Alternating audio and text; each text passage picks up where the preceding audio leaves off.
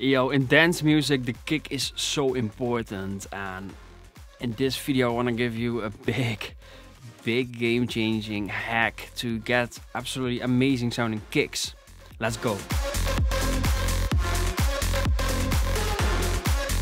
Yo, welcome here at This Mix is Sick. My name is Bram. I'm doing EDM, mixing and mastering here every day for all of you. Next to that, I'm a DJ and producer signed to labels such as Spinnin' Records. In this video, I'm going to give you a game-changing tip because getting a good kick can make your track hit so much harder from the get-go and it's so important and you can really spend a lot of time with trying to figure out a way of getting a weak kick to sound super powerful and it might not work out for you. So in this video I'm going to tell you that selecting a super dope sounding kick from the start is the key. Is the answer. It's how you get a kick that sounds insane, that pushes your track in the right way. Make sure that it hits the right way on the dance floor, in the final master, all that good stuff. If you want to have a track with an extremely amazing sounding kick, just make sure to select a good kick sample. Then next question, how can you know that the kick sample is good?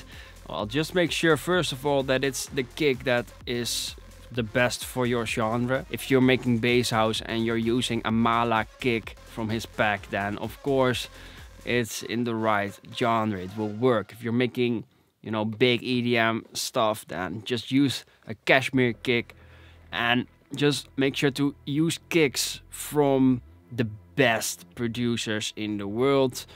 That way you are completely sure that they are amazing. And next to that, it's important to have a proper gain stage. So what does it mean? If you are using the kick, if you're producing it, just make sure that the initial sample is not too loud.